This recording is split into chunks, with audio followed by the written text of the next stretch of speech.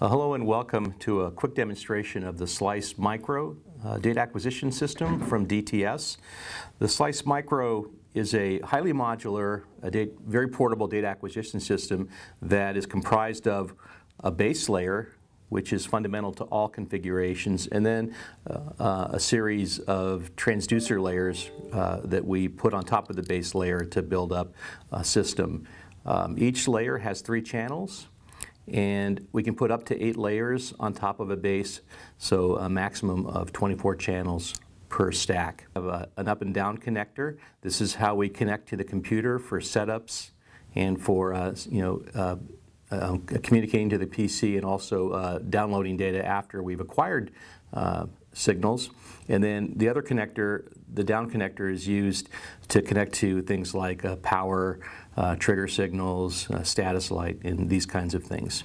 As I mentioned, on top of the base layer, you put uh, transducer layers, and in this case, we have a bridge layer, which has three connectors, and this is where we would plug in three bridge type sensors. And we have other types of uh, sensor layers as well. This one is a sensor for supporting IEPE types of transducers, such as accelerometers and um, microphones that use ICP power.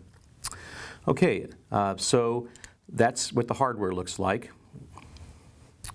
Um, I'm going to use this system uh, for demonstration purposes. This is a three-channel system, so it has a base layer and it has a bridge layer with three channels, and we have it mounted on a heatsink block.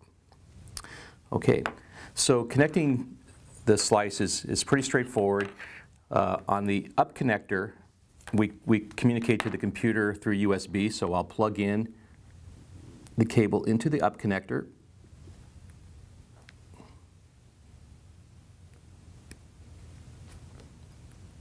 It's actually much easier than I'm making it look. And then um, on the down connector, we will um, connect to uh, what we call a, uh, a slice end of chain device, which is how we can access things like power and uh, trigger signals and status signals and other things. Um, but we can connect direct to a battery or we can go to a, an AC-DC power supply if we want to work off of wall power. But I went ahead and plugged into power here and you'll see on the side of the unit there are a couple of LEDs, and these LEDs will start blinking as the, the system is powered up and becomes alive and establishes communication with the computer. And uh, once we reach a, a, kind of a blue steady state signal, that means that we're good to go. So uh, what I'm going to do next is I'll go ahead and connect a transducer. Uh, this is a flex beam. It's got a, a, strain gauge mounted to it. I'll go ahead and connect this to channel 1 on the bridge layer of the slice.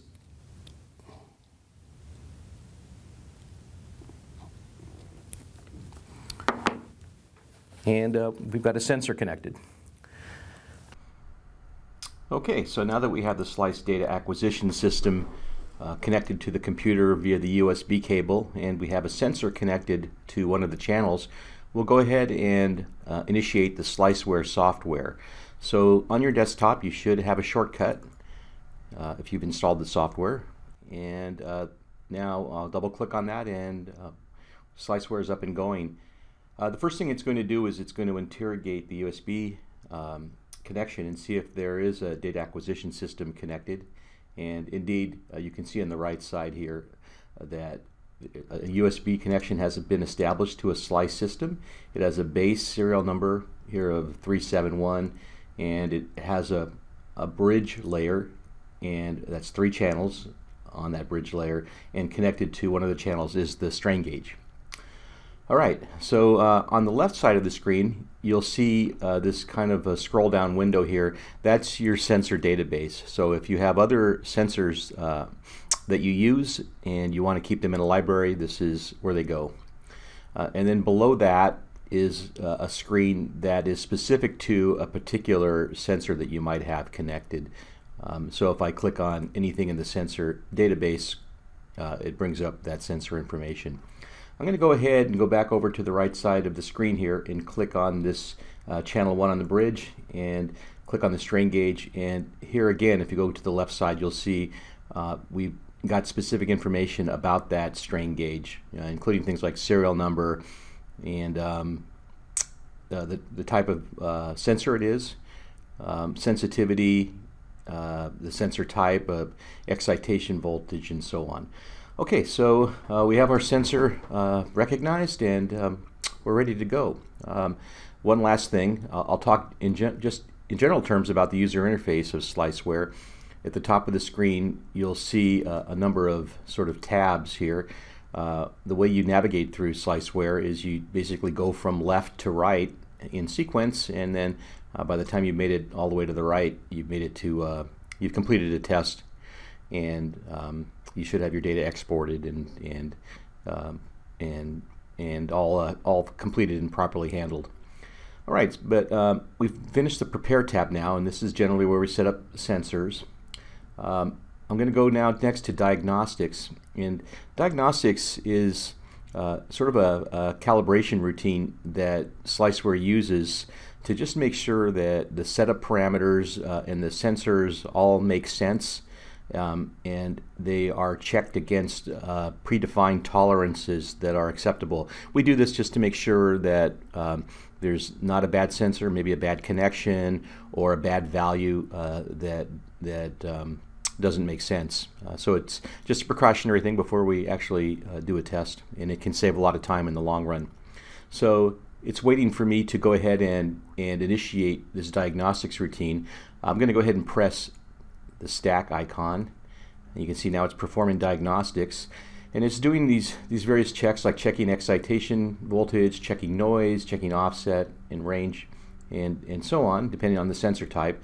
Um, so we finished the diagnostics now, and in general, uh, green, actually not in general, um, green is always good. So if you pass the diagnostics test, there there should be uh, uh, green highlighted areas here that say pass. If there was any kind of a failure, you'd see a red block, uh, and it would denote the failure. And then if you wanted to understand specifically uh, what failed, on the right side here is a table, and you can see the diagnostics. Um, values that were measured and, and those against the upper and lower acceptable tolerances. Okay, so we passed the um, diagnostics routine. Next we'll go to real time. And real time puts up a, kind of a strip chart graph uh, that's, that's actually uh, looking at data at real time right now.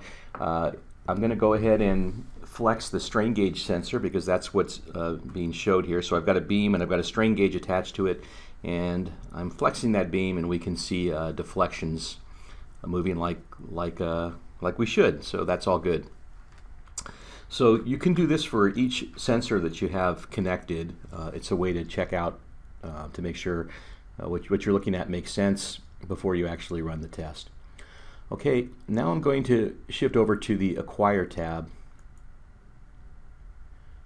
okay and in the Acquire tab, this is where we uh, actually prepare our, our data acquisition using the slice system. Um, and so we, we set up things like the sample rate, which is in the top left corner here. And you see we can set anything from 5 samples a second up to 500,000 samples per second. I'm just going to go ahead and keep it at, at 20,000 samples per second. And then the next drop down is recorder mode. It defaults to uh, just uh, recorder mode, which is works in essence like a tape recorder. Uh, so you press start and it records for some duration that's predefined in these uh, windows below here. Uh, there are other types of recorder modes like circular buffer and continuous mode and hybrid mode and things like that. But I'm just going to keep it in recorder mode for now.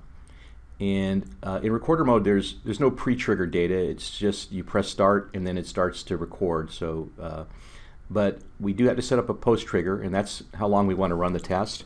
I'm going to just say 10 seconds. And uh, up here next is a text test ID. This is uh, the label that will be given to the data when it's when it's stored away. I'm going to call it desk3 test. Uh, and so this is the, the name of the file that gets that gets stored after a recording is complete, and this is what we'll we'll see uh, in the PC when the data has been extracted. And then finally, uh, there's kind of a notes field here where you can just put in anything you like. Uh, if you want to put in some information about your test setup or the operator that's performing the test, it's a it's an open field where you can put in data that you wish, and this gets tagged with the the, the measurement record, and it's just a part of the metadata. All right, so uh, we're we're ready to go here. Um, I'll go ahead and go up to the top left and uh, and select ARM and that basically prepares the slice system for data acquisition. So right now it's clearing out the flash memory of the system, and when that's finished, it'll tell us that it's armed and it hasn't triggered yet. So at this point, um, we could disconnect the slice system from the USB drive and we can go ahead and connect it to our test article and uh, connect our sensors up and we're ready to go. Um, at that point, it's waiting for a trigger, so you might have a switch connected to the down port on the base to initiate a start-stop uh, command to start the recording. Or uh, you could also have set up the system to trigger off of a level on a transducer. So uh, if some threshold in the transducer is, is, exceeded and you predefine what that level is in Sliceware, uh, you can handle the, the triggering that way to initiate the 10 second recording. Um, what I'm going to do is I'm just going to use the software to do the, the data recording, the triggering. So if you go to the top of the screen here, there are uh, some controls. Uh, there's one called Start. I'm going to press that, and as soon as I press Start, it's going to just verify that this is what I want to do. And now it's starting to record. You can see recording in process. I'm going to go ahead and flex the beam, uh, and so we get some strain gauge flex, uh, flexing information here and our 10 second test is done. So it automatically downloads at that point. And what we're going to see here is a, a very short time window. It only recorded uh, about half a second of data. Uh, that's because uh, if you go to the top here and go back to the previous tab, Acquire, um, it only downloaded a small region, this region of interest between uh, minus 0.5 and, and 0.5 seconds. So uh, we want to actually download the entire data set so I'm going to go ahead and say download all of the data. It's going to overwrite that previous record and it's going to it's downloading the data. Now it's going to display our 10 seconds of data. Okay, so this is, uh, uh, I, I, didn't actually start flexing the beam until about five seconds into the test, but this is our, our measurement results that are now downloaded um, in the PC from the, um, from the slice system. Uh, things you can do in this uh, review tab here, you can you can click and drag to zoom on a signal, and so you can look at the data in more detail. You can do that as many times as you like. Um, if you go to the right side here, you can see zoom is active, but there are other things we can do as well. There's a grab and pan. If you select that, then we can take the zoom signal and move it to a different portion of the signal while it's still zoomed in and look at those kinds of um, the information on, on other parts of the signal. And then one more thing that we can do is we can actually choose select a point and this initiates a cursor and you can see it puts a crosshair on, uh, on the point of the, the signal where I actually uh, clicked and click the uh, cursor button and you, there you can read the time value at that point and you can measure the amplitude of the signal. So you can move that just by clicking and dragging the mouse, you can move it to anywhere on the signal and you get an updated time and amplitude value at that point. Okay, um, one last thing to show you here. There are some simple calculations you can do in Sliceware in this review screen. Uh, you access them by pressing calculate, this little calculator icon. Uh, and then there's a drop down menu here and you can pick uh, these various math functions. I'm going to choose FFT. Uh, you give it a name so, because it's going to become a new signal. I'm going to call it FFT of strain. And then you select the channel. Since we only have one channel uh, active, that's all that shows up on the list here. So I'm going to do the FFT on this strain channel. I'm going to select add. So now we're looking at the original 10 second time waveform but if we want to increment to the, the FFT, you just go up to the top here and you select next. And there's the FFT of that strain signal. Not pretty, but that's what it is, okay? Um, so that's that's it for the review screen. Uh, the next screen we'll go to, and this will be the last one for this um, demonstration, we'll go to data. In data, this is basically how we take measured signals that are now stored in DTS binary format and how we might export these uh, data files into other formats. So the first thing you do is you, you go here and you select a data file. I'm going to look for the, the desk 3 test that we just did. Uh, okay, so that's selected. Um, they have there's some buttons here you can choose if you only want to export a certain portion of the signal, maybe a couple of seconds, uh, you know, between um, maybe at the beginning, the first two seconds, or you know, between time 2.5 seconds and three seconds, or whatever. You can select ranges here that, and those are, are, those will just be the only sections that will be exported.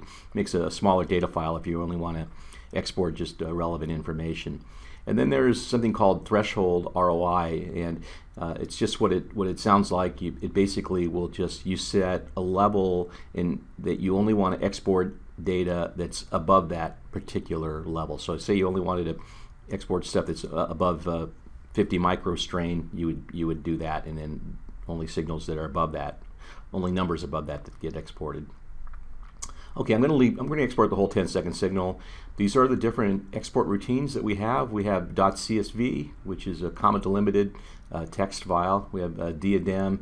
We have the SOMAT format to get it into uh, the SOMAT infield product. And then we have a few other uh, kinds of data exports here. I'm going to go ahead and just do CSV. Uh, and now we're all set to go. Uh, here you can choose uh, to not filter the data or filter the data. Um, I'm going to just leave it uh, as filtered.